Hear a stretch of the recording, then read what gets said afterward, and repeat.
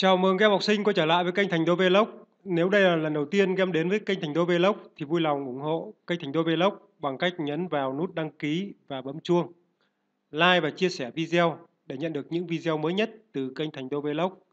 Các em nhớ là khi các em ủng hộ kênh Thành Đô Vlog, các em bấm vào nút đăng ký thì các em đừng quên bấm vào biểu tượng hình cây chuông. Có bấm chuông thì mỗi khi kênh Thành Đô Vlog đăng tải video lên các em sẽ là những người đầu tiên nhận được những video mới nhất từ kênh Thành Đô Vlog. Rồi bây giờ mời các em mở sách và bài tập tiếng Việt lớp 3 tập 1 trang 17 18 chính tả. Đầu tiên mời các em làm bài tập số 1 viết thêm 3 tiếng có vần, quay. Ở đây người ta làm mẫu cho chúng ta là tiếng xoay có vần O, A, I, Y. Như vậy, trong bài tập này các em có thể bấm tạm dừng video để các em làm mẫu ra giấy nháp. Sau khi làm xong, các em bấm tiếp tục video, các em so sánh xem kết quả của mình làm có đúng hay không nha. Rồi bây giờ mời các em chúng ta quay trở lại video. Ba tiếng có vần oai giống như tiếng xoay. Tiếng xoay có vần oai. Chúng ta có ba tiếng như sau. Loay hoay, o a i y, o a i y, loay hoay. Xoáy, xoáy, chẳng hạn như là lốc xoáy, lốc xoáy. Thì từ xoáy này có vần o a i y.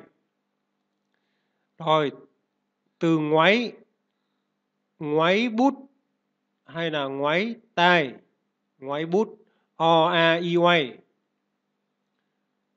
rồi như vậy là các em vừa hoàn thành xong bài tập số 1. Bài tập số 1 đơn giản như vậy thôi.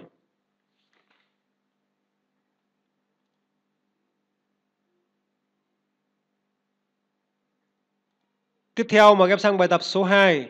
Tìm và viết các từ A. Chứa tiếng bắt đầu bằng giờ, gì hoặc r có nghĩa như sau. Làm cho ai việc gì đó trái nghĩa với hiền lành trái nghĩa với vào.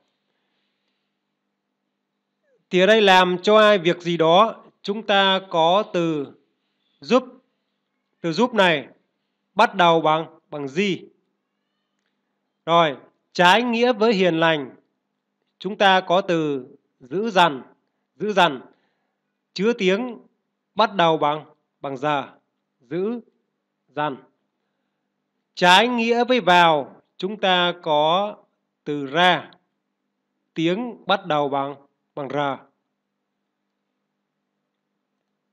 rồi tiếp theo các em sang câu b. Chứa tiếng có vần ân hoặc ân, có nghĩa như sau. Khoảng đất trống trước hoặc sau nhà. Dùng tay đưa một vật lên, cùng nghĩa với chăm chỉ chịu khó.